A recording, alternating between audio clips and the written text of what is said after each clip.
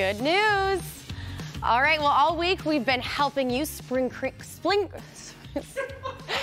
spring clean your life, if I could speak today. Uh, but today on Thrifty Thursday, we're showing you some free apps to help you do just that. But this time, we're helping you clean your digital clutter. Do you have hundreds of photos on your phone just taking up storage? Google Photos is a great app to have if you need to delete photos.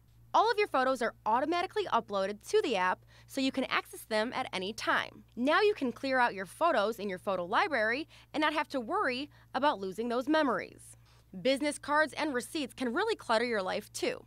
How about an app to help you organize them? With the app Shoeboxed, you can take a photo of your receipts and business cards.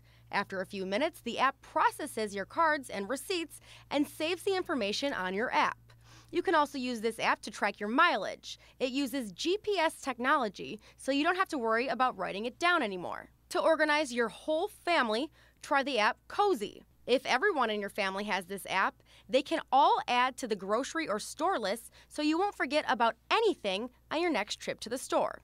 There's also a calendar that syncs with the whole family.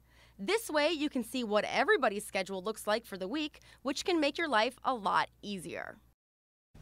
This is good stuff there. I know, especially the grocery list thing. You ever go and then you get home and somebody's like, oh, you didn't get this? Mm -hmm. Everyone's organized. In sync.